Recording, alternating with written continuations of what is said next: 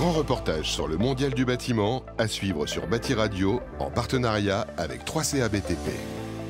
Philippe Moreau, bonjour. Vous êtes ingénieur formation filière finition, chef de projet du CFA de demain en charge des équipements. Pour vous, quelle est la place du numérique dans le CFA de demain? On utilise des simulateurs, on utilise aussi des casques virtuels, ce qui veut dire que le formateur, lui de son côté, est en interaction avec ses apprentis qui jouent les modules.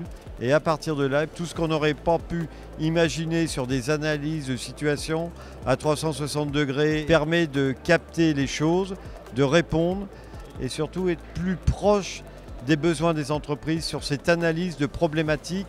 Et comment vous envisagez l'avenir? Repenser ces espaces sur le volet pédagogique, repenser ces espaces sur le côté environnemental, en allant jusqu'à l'économie circulaire, parce qu'on doit protéger, on doit être capable de revaloriser ces déchets, et surtout, on est vraiment dans le cadre du CFA de demain, qui se doit innovant, vertueux et force de proposition et la place du numérique là-dedans va nous aider beaucoup.